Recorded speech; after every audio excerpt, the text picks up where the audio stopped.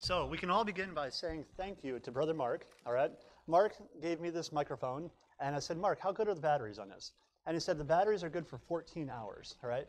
So uh, Paul, uh, Pastor Paul, uh, there's a button down here, locks the doors, right? So we're good? Okay, cool. He's going to check it for me. Okay, good deal, good deal. So, but, uh, you know, as uh, Pastor Paul said, and, uh, you know, I, I always like, I'm like to have a sense of humor. I was telling some of the other folks I was talking to, you know, this year, April 1st, or sorry, uh, 2020, April 1st, April Fool's Day was on a Wednesday night, right? So my wife is big on April Fool's Day, and she tries to get me every year.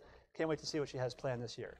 So this year, we ordained our dog through the Universal Life Church. It's a website.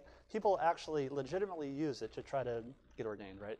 So I thought it would be hilarious, you know, to put the receipt in all the other receipts to give to our treasurer Miss Carla, if you saw a receipt saying, you know, gas expense, you know, lunch expense, whatever, ordination for a dog, you know, it, it was kind of a kind of a fun thing.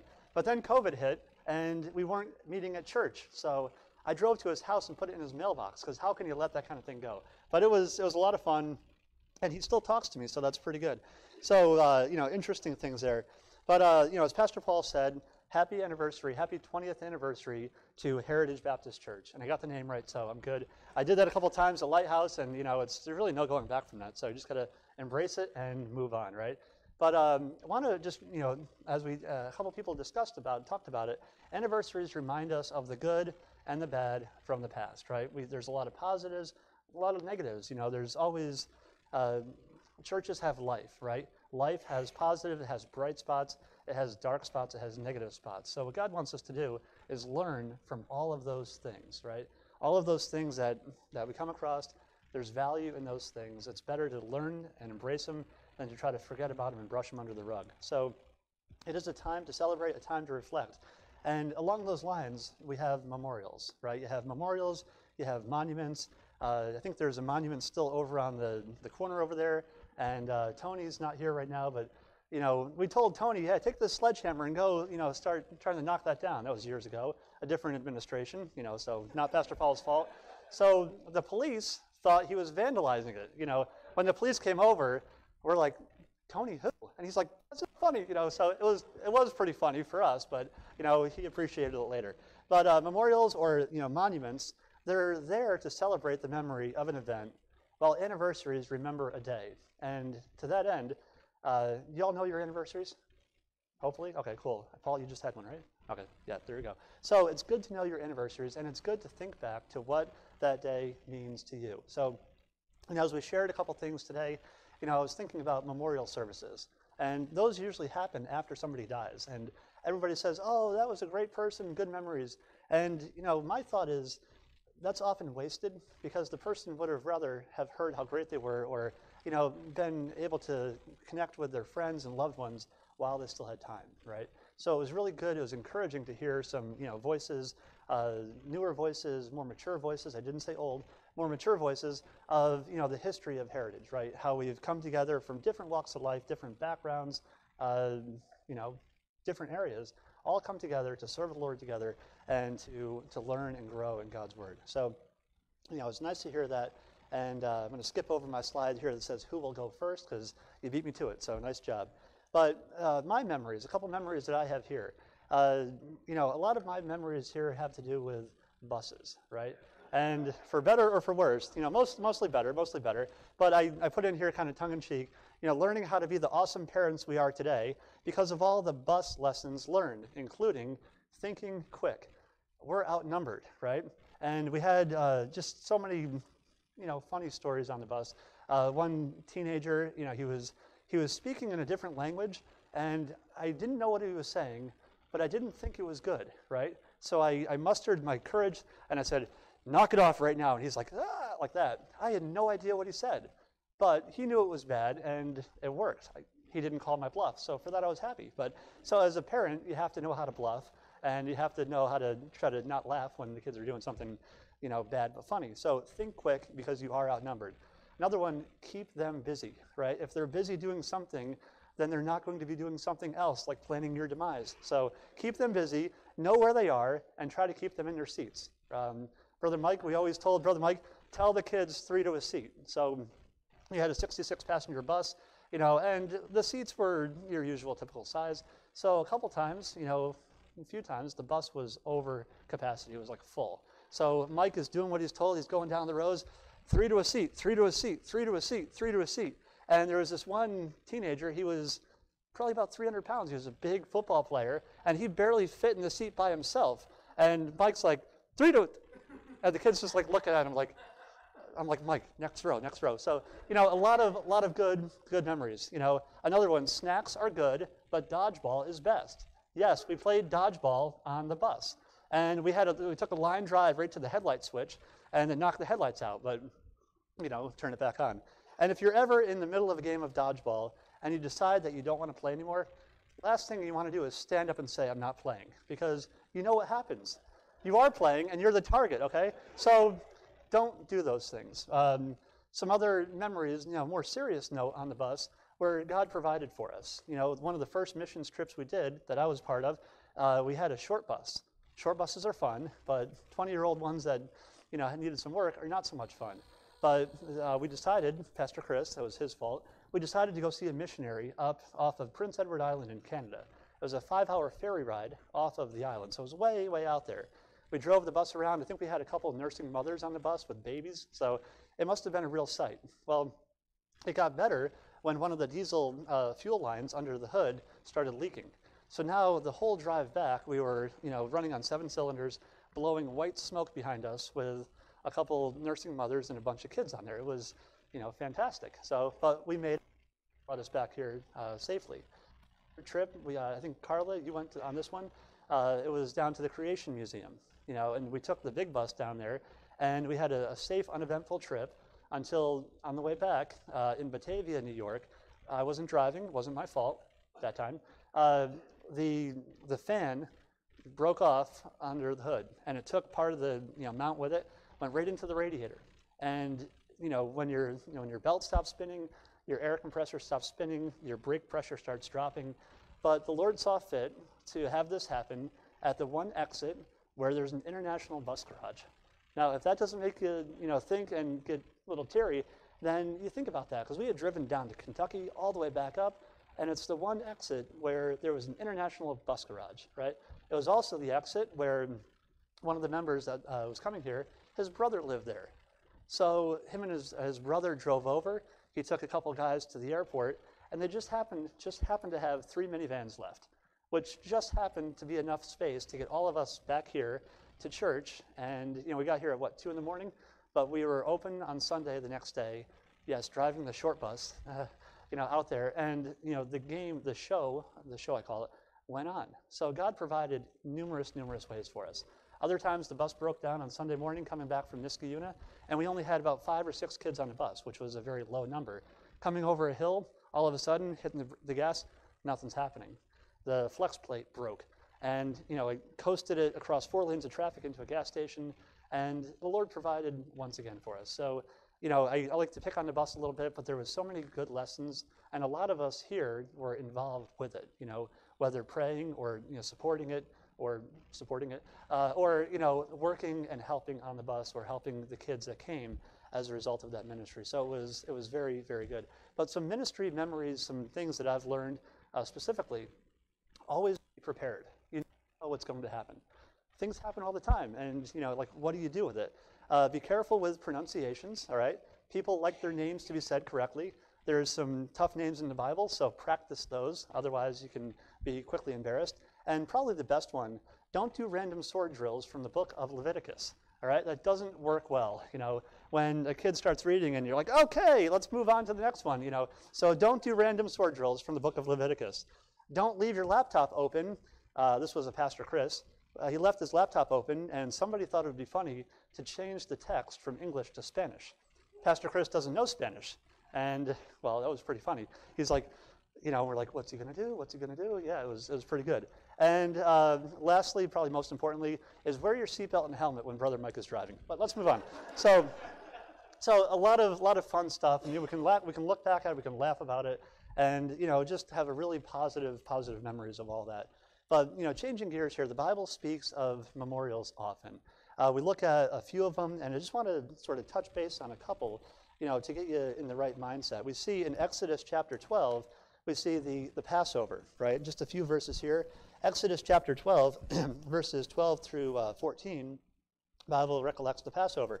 For I will pass through the land of Egypt this night, and will smite all the firstborn in the land of Egypt, both man and beast, and against all the gods of Egypt will I will execute judgment.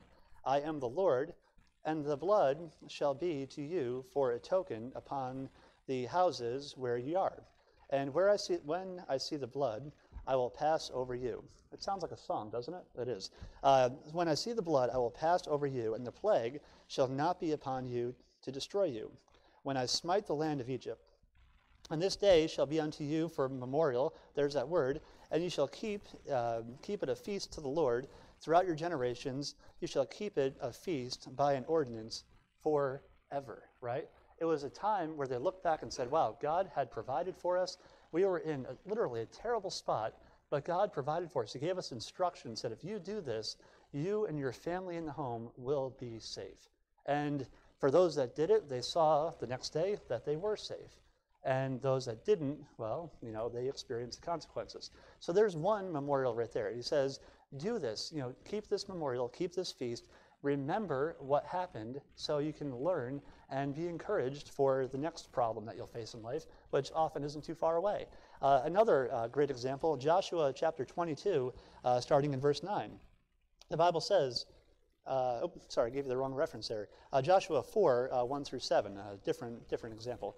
Joshua 4, 1 through 7. And it came to pass when all the people were clean passed over Jordan, that the Lord spake unto Joshua, saying, Take you twelve men out of the people, out of every tribe of man, and command ye them, saying, Take, ye, take you hence out of the midst of Jordan, out of the place where the priest's feet stood firm, twelve stones. Now remember, the priests were standing with the ark in the middle of the river, holding back the water, and they passed on through.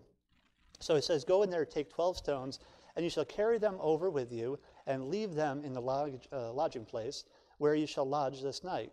Then Joshua called the twelve men uh, whom he had prepared of the children of Israel out of every tribe of man. And Joshua said unto them, Pass over before the ark of the Lord your God into the midst of Jordan, and take ye up every man of you a stone upon his shoulder, according to the number of the tribes of the children of Israel, that this may be a sign among you that when your children ask their fathers in time to come, saying, What mean ye by these stones?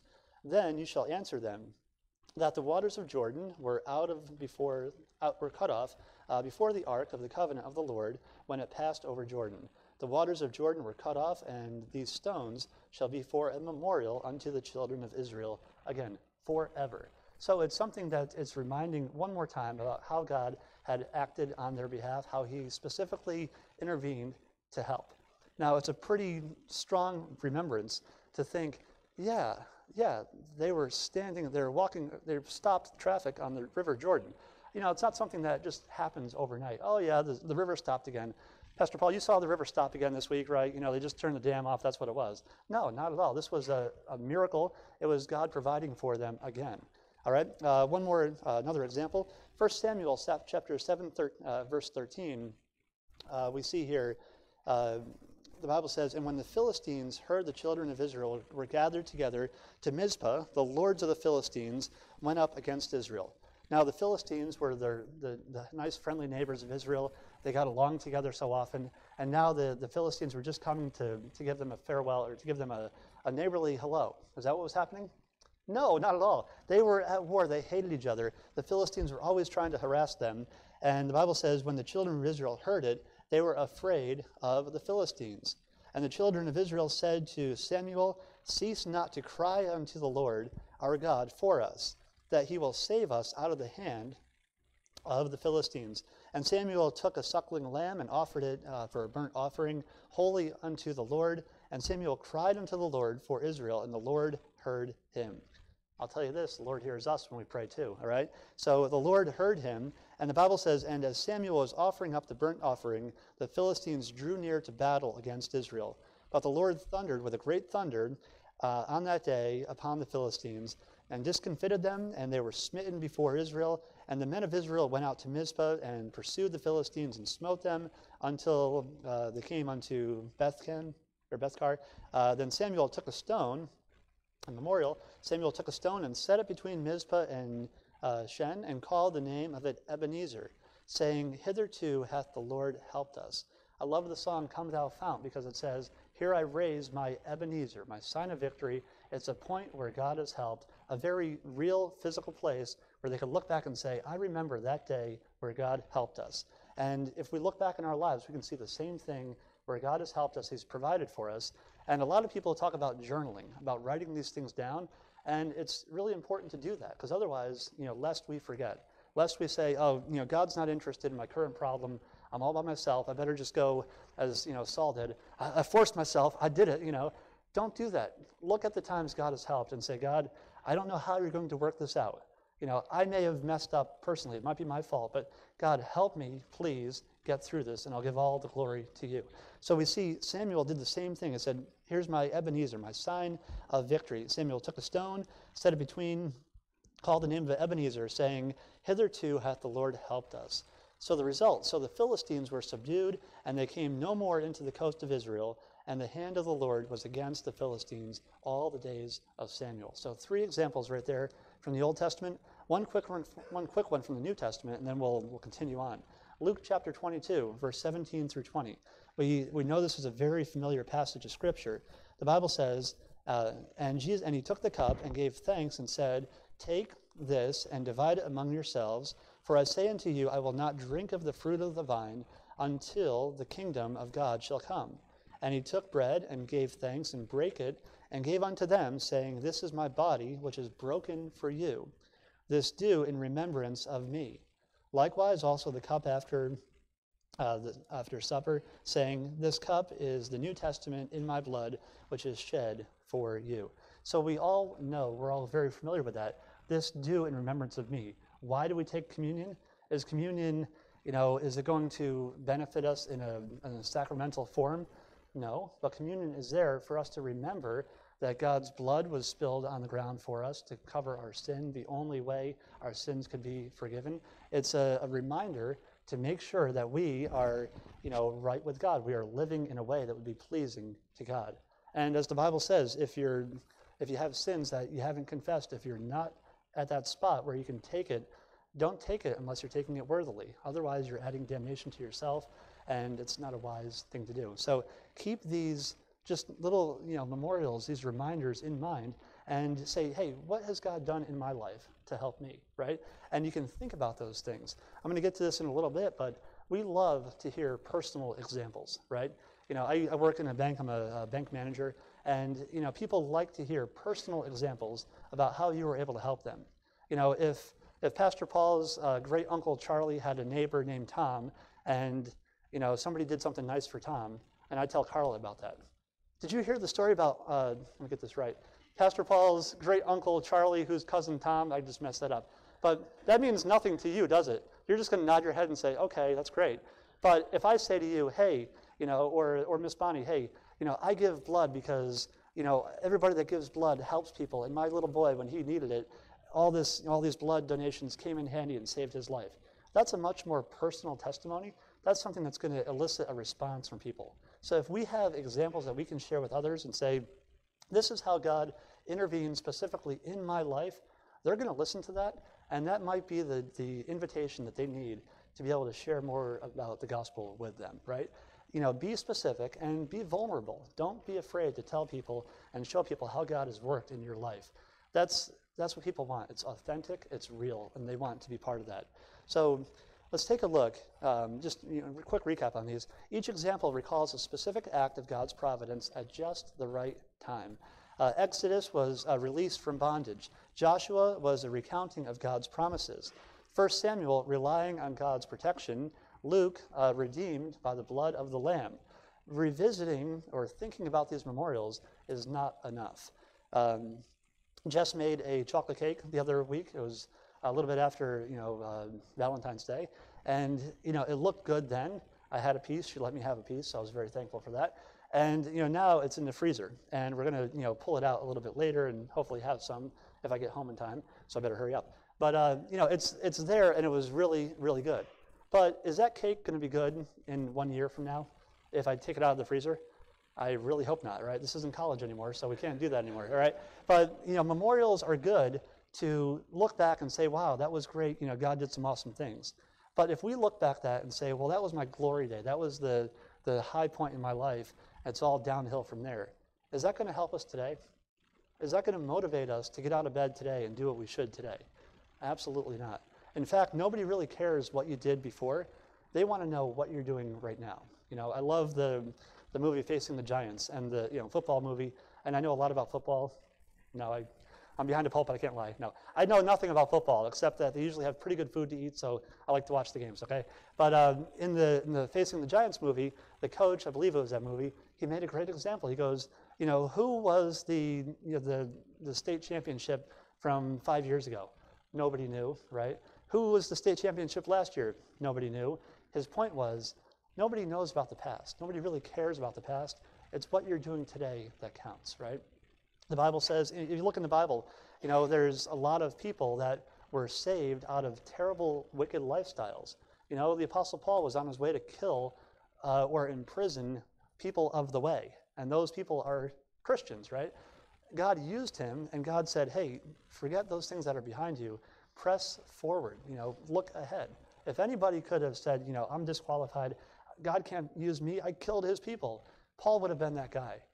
But Paul also had an experience. He met the Lord on the road to Damascus. The Lord got his attention, and the Lord said, Hey, Paul, I'm going to use you. And Paul took that and ran with that for the rest of his life.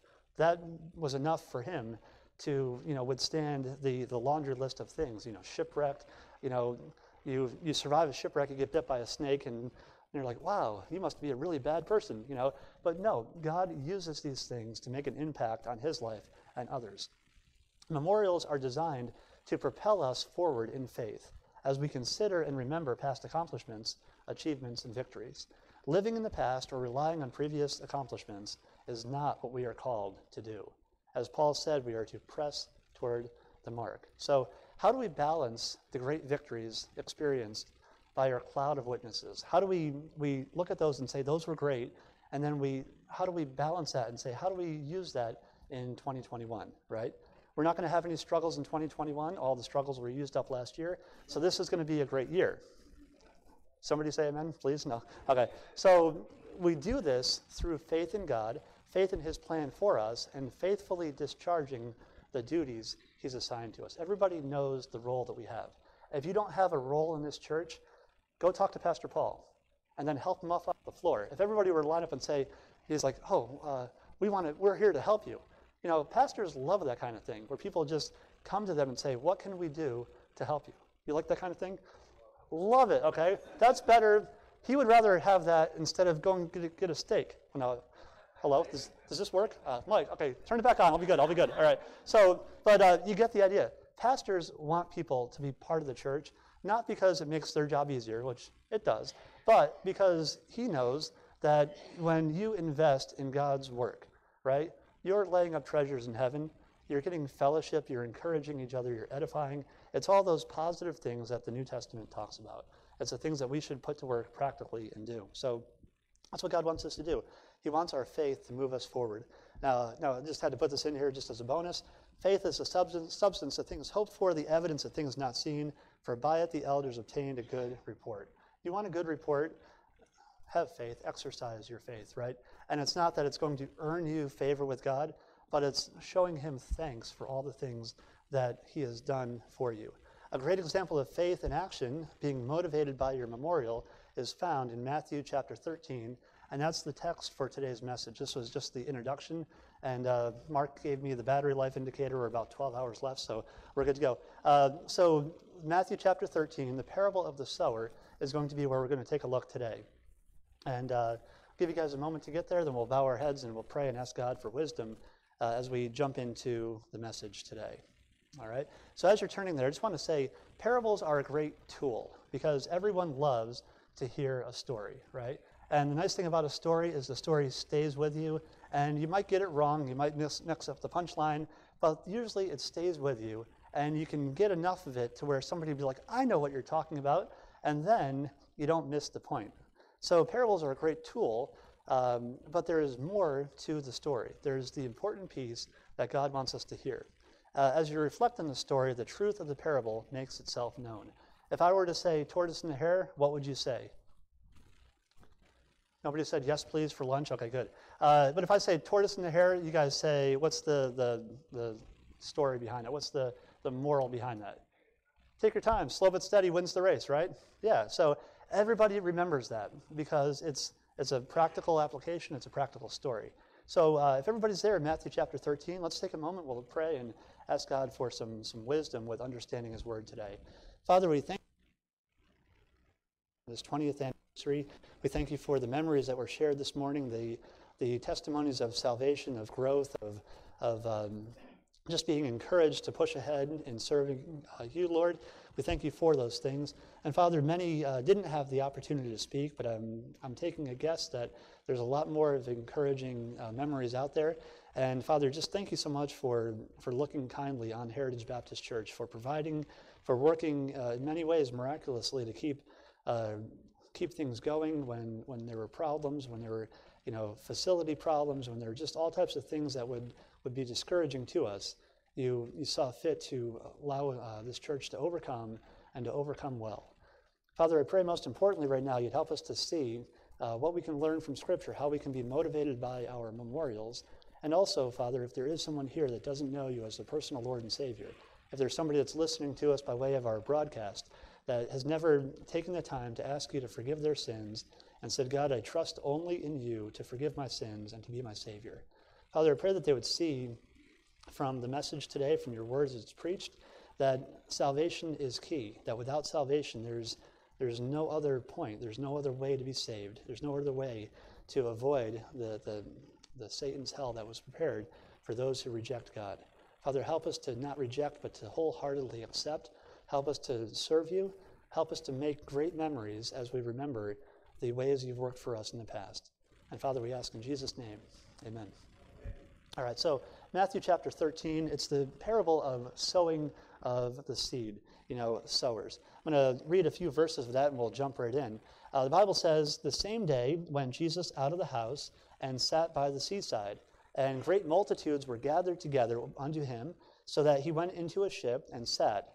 And the whole multitude stood on the shore, and he spake many things unto them in parables, saying, Behold, a sower went forth to sow. And a sower, you know, they, they didn't work for a, you know, a stitching company. It was a sower. They'd go and, you know, throw seed and, you know, sow seed. It's, yeah, make sure you spell it S-O-W, not S-E-W. I had to go back and make a couple changes here. So thankfully it's not in the big screen, otherwise that'd be embarrassing. But I just told you that. So, but uh, you get the idea. So a sower went forth to sow. The Bible says, and he spake many things to them um, uh, in parables, saying, Behold, the sower went forth to sow. And when he sowed, some seeds fell by the wayside, and the fowls came and devoured them up. Uh, some fell upon stony, uh, upon stony places where they had not much earth, and forthwith they sprung up because they had no deepness of earth. Uh, and when the sun was up, they were scorched, and because they had no root, they withered away.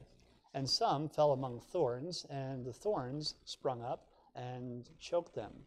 But other fell into good ground and brought forth fruit, some an hundredfold, some sixtyfold, some thirtyfold.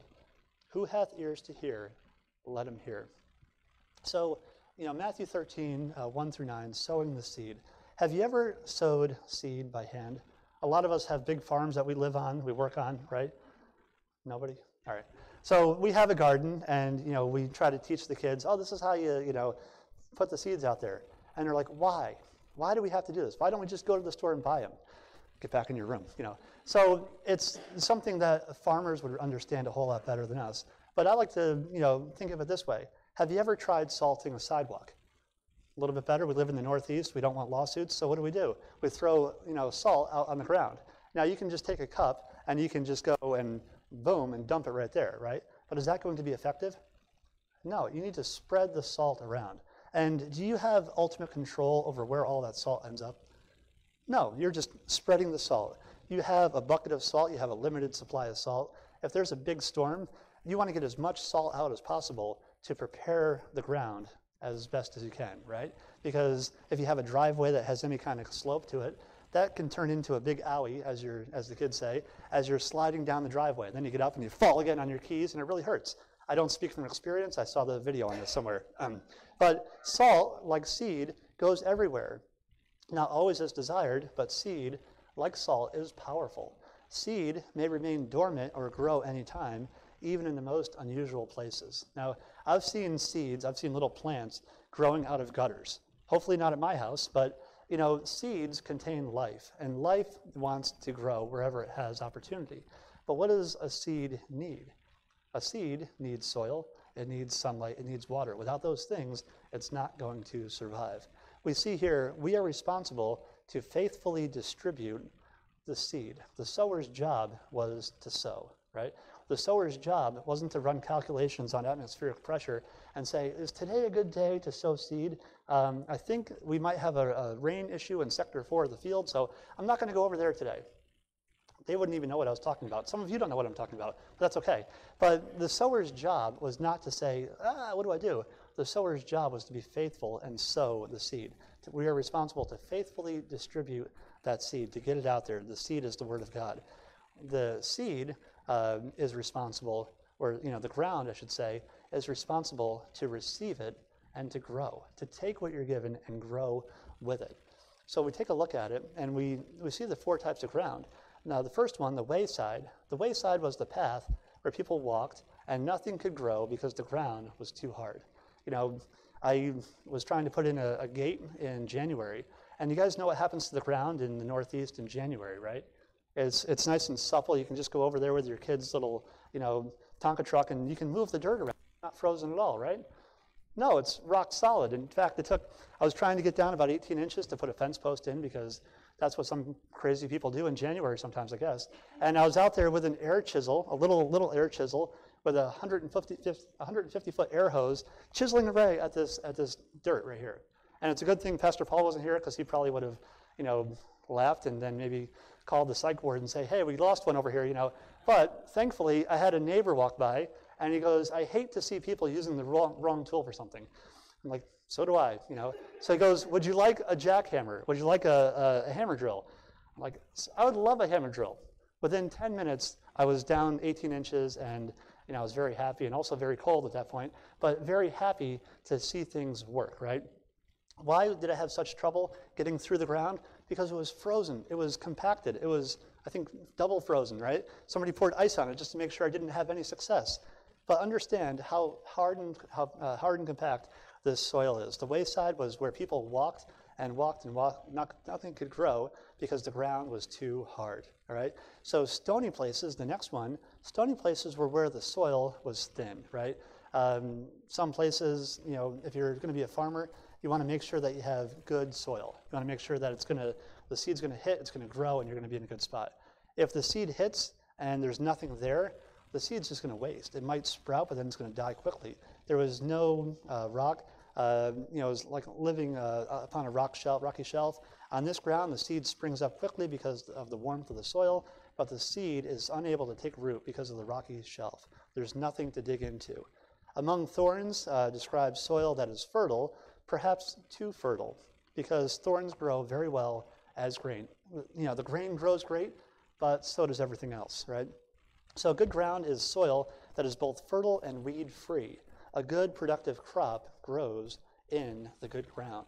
So, uh, and now let's take a look. Why parables? You know, Jesus spoke in parables very frequently, and sometimes the apostles, even or the disciples rather, still said, "Why? Why parables?" So we see in verse uh, 10 through 17 and the disciples came and said unto him, Why speakest thou unto them in parables?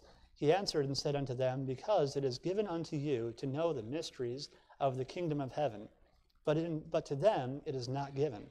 For whosoever uh, hath, to him shall be given, and he shall have more abundance. But whosoever hath not, from him shall be taken away even that he hath. Therefore speak I to them in parables, because they, seeing, see not and hearing they hear not, neither do they understand. And in them is fulfilled the prophecy of Isaiah, which saith, By hearing ye shall hear, and, uh, and shall not understand, and seeing ye shall see, and shall not perceive. For this people's heart is waxed gross, and their ears are dull of hearing, and their eyes they have closed, lest at any time they should see with their eyes, and hear with their ears, and should understand with their hearts, and should be converted, and I should heal them. But blessed are you, I'm sorry, blessed are your eyes, and uh, for they see, and your ears, for they hear. For verily I say unto you, that many prophets and righteous men have desired to see those things which ye see, and have not seen them, and to hear those things which ye hear, and have not heard them. So, you know, why parables? Well, think of it this way to the humble and honest heart, uh, to the humble, uh, those that are receiving, those that are listening and looking to God for wisdom, those that are asking, those that are seeking, they will get a response. They will understand the parable. But those that are not seeking, uh, they have a hard heart, they, they're not going to get it. They're going to hear a story. And you think about the level of compassion that's built into this. God knows at that point that they were not ready to hear this. They've already hardened themselves, and He knows that if somebody's not willing to repent, if they're not saved, what's going to happen to them? The Bible says their destination is an eternity in hell, right? So, this right here, He's not making it any worse. If they had heard more and more and more, they're responsible for more and more and more. So, by speaking in a parable, the ones that want it, the ones that can get it, are getting it. The ones who are rejecting, He's actually saving them by preventing them from being more responsible for more truth that they've gotten because they've rejected themselves. They've rejected the truth. The Bible, or just a, a little quote here the same sun that softens the wax hardens the clay. So, what is it that we're doing with the word that we're hearing? Are we allowing it to, you know, soften us, to, to purify us, to help us, or are we taking it and allowing it to harden ourselves? The parable reveals truth to him who desires truth, but conceals it from him who does not wish to see truth. The Bible, or I, I view it as an act of mercy by a loving Savior. Those refusing to hear are condemned already. Why make it worse, right? Another example of love towards those needing salvation, by not hearing, they are being spared from more judgment. God's goal is that they get saved. His goal is that they hear, that they listen, but I'm not going to force it on them. If you were to try to force somebody to get saved, is that going to work for you? Absolutely not. The goal is that they should hear and be saved. God's not willing that any should perish, but that all should come to repentance we see here, uh, he continues, he says, you know, they hear and not understand, they see and not perceive.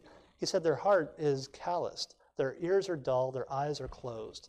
Jesus wants their eyes to see, he wants their ears to hear, and he has performed these miracles before. He made the blind uh, able to see, he made the deaf able to speak. He could do that, he could force them to be able to hear, but he wants their heart. He wants their heart to be uncalloused, to accept the gift of salvation. He says, Lest at any time they should see, hear, understand, and should be converted.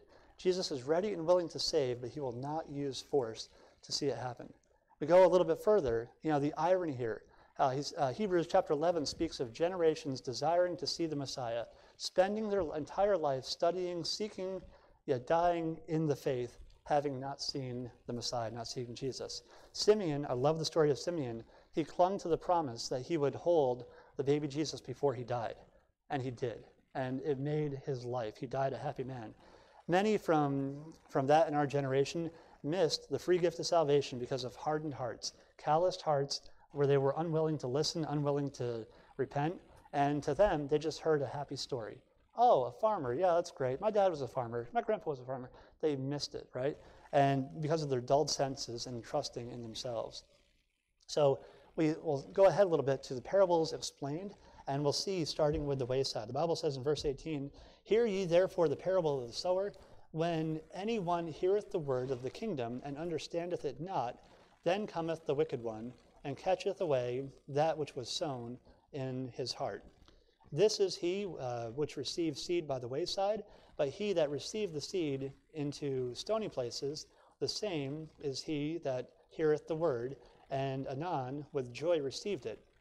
Yet hath he not room, hath he not root in himself, but doeth for a while, for when tribulation or persecution ariseth because of the word, by and by he is offended. He also that receives seed among the thorns is he that heareth the word, and the care of the the care of this world and the deceitfulness of riches choke the word, and he becometh unfruitful. But, verse 23, but he that receiveth received seed into the good ground uh, is he that heareth the word and understandeth it, which also beareth fruit and bringeth forth some an hundredfold, some sixty, I'm sorry, some sixty, some thirty. So we see the wayside. The word has no effect because it never penetrates and is quickly taken away. It can't get through the solid ground. It can't burst its way through to be able to take root. Think of it as birds eating freshly fallen seed uh, before the seed gets covered and develop roots. Uh, Satan, or you know the bird here, always is seeking to destroy, always seeking to find that fresh seed and get it and you know compromise it before it has time to do what it was designed to do. That's to take root and to grow. Um, men love darkness rather than light because their deeds are evil. Satan wants to keep them in the dark concerning their spiritual condition, lest they see the light and be converted. The natural thing for a seed to do is to plant and grow. If it can be destroyed, compromised, then Satan can win and prevent it from doing what it's designed to do. Uh, stony ground, the word is received enthusiastically, but because there is no depth, no resource to draw upon, when trouble or persecution enthusiasm for the word diminishes and evaporates, collapses due to pressure. Not necessarily lack of desire, but lack of conviction, lack of determination, lack of strength. And I just put a little note on the end there. Did anyone disciple that person? You know, they started out on fire. They're, yes, this is so awesome. This is so great. And then they get some trouble. And then, you know, their, their boss says, hey, um, you were going to church that night, and, you know, the boss doesn't like it, and they get, can, they get uh, in trouble and there's nothing for them to fall back on. They didn't have that, that, um, that strength built up yet, and they wither away. Thorny ground. Some respond to the word and grow for a while, but are choked and stopped in their spiritual growth by competition from unspiritual things, right? There's a thousand activities we could be doing right now, but praise God, we decided to be here in church or watching you know, via online. So it comes down to priorities. Uh, the next one, this soil, the good ground, the soil represents, I'm sorry, uh, thorny ground still. The soil represents fertile ground for the world, but perhaps too fertile, as it also grows all sorts of other things that choke out the word of God, namely the cares of this world, the deceitfulness of riches that choke out the word. Monitor yourselves. You know, a note on this one remember the rich young ruler? What must I do to inherit eternal life? You know, love your neighbor as yourself. Hey, I'm doing that. It's fine. Go get rid of all your stuff, sell your stuff, and give it away. He was very, very sorrowful. He couldn't do it right? So the next one, the last one, the good ground, 30, 60, 100 fold. These are all great harvest and are testimony to the soil. God's desire for each is that we bear much fruit and be his disciples. Good ground discipleship requires discipline, requires commitment, faith, and obedience. Those four things working together is you know, what's going to cause the seeds to grow up and develop. Successful disciples help other disciples who are struggling, helping sift the thorns remove the stones, and not get caught up by cares of the world. So if you're a little seed and you're growing pretty well, and you look over and you see your other your other neighboring seeds not doing so well, help them out. You know, help them, be an encouragement to them.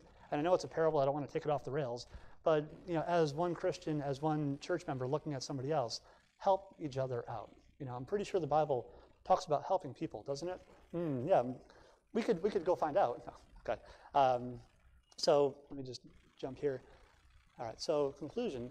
Uh, memorials are most successfully understood and attractive to others when there is that personal relationship. If you can share with somebody, this is why I'm doing this, this is why I care for you, this is why I'm praying for you, then it gets their attention.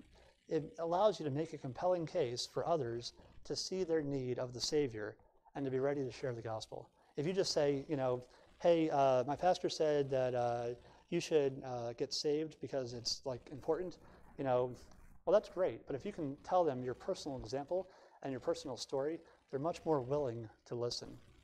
So, in light of our memorial, in light of the anniversary celebrating 20 years of Heritage Baptist Church, what type of, what type of sower should we be? Well, last three things were good. Sow liberally. Ecclesiastes 11.1 says, Cast your bread out in many waters. Make the investment. Cast that seed out as much as you can put it out, and you know, think about these guys back in the day. They would send out commercial ships, you know, deliveries, and what would happen to them? Did they have a GPS? No, that ship could sink. all your investment that you put into that could be lost forever. Well, you are being faithful putting the investment out, and that's what God wants us to do. Sow liberally, sow lovingly. Psalm 126, 5 and 6, it talks about, you know, bearing the precious seed with tears. You know, there's great examples about people, you know, saying, you know, they use their tears to, to wet the seed before it was sown. Pour yourself into the seed that you're giving out. Sow liberally, sow lovingly, and it'll doubtless come again. It'll come again, you know, larger than you would have expected, and God will bless it. Sow liberally, sow lovingly, and sow you later. That's a little bit of a play on words there. But Haggai uh, chapter 2, verse 19, God says to them, You have seed left, it's sitting in the warehouse. What's it doing in there? Get out and, you know, when you when you die, make sure your seed bucket is empty. Make sure you've scraped all the dust out of the seed bucket and that nothing is left on the table, right? It doesn't matter how much money you have in your accounts and things like that, but use all the seed, use all the opportunities you've had to to share the gospel, to get that out, to be an encouragement to others. So, sow liberally, sow lovingly, sow you later, all right? And last thing I'll say is this God has been gracious and long suffering towards each one of us. He's not willing that any should perish, but that all should come to repentance. If you have never asked Jesus to forgive your sins, then what are you waiting for, right? He's, he's done everything he could to save you. You know, there's nothing else he can do above and beyond that. Um, let your memorial motivate you. If you are saved, let the memorial, let the anniversary of Heritage Baptist Church's 20 years, let that motivate you to say, God, you've been with us before. I want to see what's going to happen in the next 20 years. Not in 2021, but that's going to be really good, I know, because it can't be bad like 2020. But let me, you know, I want to be part of this church's next 20 years of success, right? And, you know, pray about it, ask God, and then go ask Pastor Paul. Surprise him. Make sure you're there to help him off the ground, you know, when he passes out, right? But make sure, invest what you have. You may have a little bucket of seed, you may have a big bucket of seed. Everything that you have, get it out on the table, use it while you have time to do so, all right? Um, what greater regret could you have than, you know, ending and saying, you know, man, I wish I did this, I wish I did that. Leave it all on the field. That actually makes sense. Leave all the seed on the field, right? Leave it all in the field and have no regrets. Pastor Paul? Brother Peter, I appreciate it. Uh, sounds an awful lot like buying the field, doesn't it? Yeah. And um, um, we just need to buy the field, trusting, trusting God without question, without argument, Amen. just faithfully doing those things that He has asked us to do. We're, I'm going to go ahead and invite you to stand this morning, let you stretch your knees. If you would, though, if you would just for a moment, just bow your head, close your eyes. We want to give you an opportunity to respond to the Lord this morning. Whether you're here today and and uh, you just need to uh, ask the Lord for help or for forgiveness in the way that you've been sowing, the way that you've been stewarding this precious gift of salvation that He's given us. Maybe you're here today and Maybe you've not lived for the Lord. Maybe you, uh, whatever the case may be, I, I don't know all the details, and we can we could run a gauntlet of variables. But whatever may be taking place in your heart, don't leave here without doing business with the Lord. Don't. We come together to worship, but oftentimes we leave no different. We leave thinking the same way. We leave checking church attendance off of a to do list for the week. God desires a relationship with you. You can only have a relationship with, with Him if you spend time with Him. So, we're going to give you a, chance to come and to, to spend time with the Lord. I would invite you to come and kneel at the front. The altar is always open. If you are, uh, for whatever reason, if you are, are not comfortable or unable to make your way to the front, please feel free to, to sit there in your seat or kneel there at your seat. Regardless of the location, my desire would be that you not leave here without talking to the Lord and just spending some time with Him and however He may have spoke to your heart. For those of you that may be here, may be watching online, that have never accepted Christ as your Savior, we would sure love to be a part of that. We would sure love to be able to take you to God's Word and show you what He says about your salvation. Take you to God's Word and show you how you can know that Jesus is your Savior and that the promise of an eternity with God the Father. What, a, what an amazing opportunity that would, that would be. If you're here and you've never accepted Christ as your Savior, I want to invite you to slip out of your seat and to come to the front and, and get my attention. And I'll let me pair you up with somebody who will take you to God's Word and show you how Jesus can be your Savior. Maybe you're on, watching online and, and uh, you would, would like to talk to somebody. I have one of our men sitting there monitoring our live stream who would be more than willing to interact with you and, and take you to God's Word and show you how you can know that Jesus is your Savior. Heritage has gone 20 years, not because of men, not because of women, but rather in spite of us. Heritage has been able to continue as a body of Christ for 20 years because Christ is the one in control. It is His message of salvation and redemption that we are here to share. And with the Lord's help, we will continue another 20 years to share that message. I'm going to give you an opportunity to pray. Whether you want to come to the front or stay in your seat is entirely up to you. But, but let's take just a moment to thank the Lord for all He's done and help us as we uh, determine and purpose in our own hearts to continue to sow the gospel message.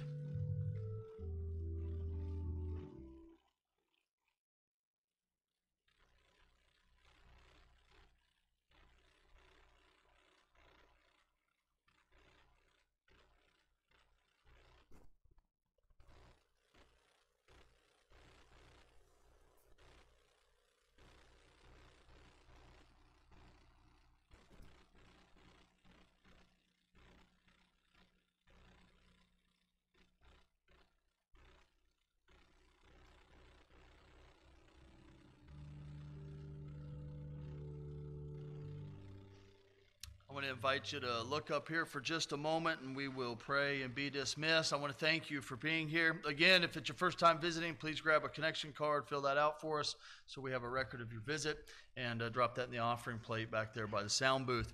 Uh, also, 5 o'clock tonight, we will continue our study uh, of uh, It's Not Complicated, wrapping our brains around the Christian life uh, because it's not complicated. Um, it is very easy. We're just look, taking a practical look at Christian living. So please join us at 5 o'clock. Brother Peter, thank you so much for being here. Uh, I'm going to ask Brother Dale, if you would please, sir, uh, close this in a word of prayer, and we'll be dismissed. Thank you for celebrating with us today, and I will be in the foyer for those who would like to talk to me. Brother Dale?